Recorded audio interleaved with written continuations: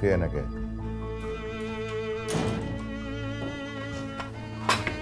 يا أخويا ما كنتش أعرف ان كلاويكي ساقعة كده. جرى إيه إزاي تكلمني بالطريقة دي؟ بقى تبقى عارف إن هم رايحين يدوروا على إيش. وأنت ولا أنت هنا؟ ما فكرتش حتى تروح معاهم؟ عمر ده واد سكران وبيخرف وازاي الحال بقى لو رجعوا وهي معاهم. أنت هتخرفي زيه؟ ما أنت عارف. يا أخويا أنا ما شفتش. أنت اللي حكيت. وأنت بقى راجل نص كلامك كده. إيه؟ أنت تشدي نفسك ولا إيه؟ يا أخويا وطي صوتك.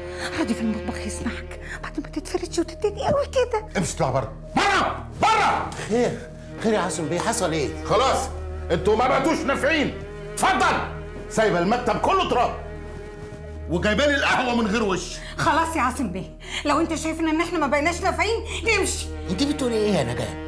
يرضيك يا راضي. المكتب يبقى كله تراب بالشكل ده؟ لا طبعا ما يرضينيش انت غلطانة يا نجاة. وأنا هنضف المكتب بنفسي لسيادتك ما هو كمان ما يصحش يقول علينا إن إحنا ما بقيناش نافعين. يا ست ما تراعي الظروف اللي إحنا فيها ما انت شايفة بنفسك. خلاص انفعلت وخلاص.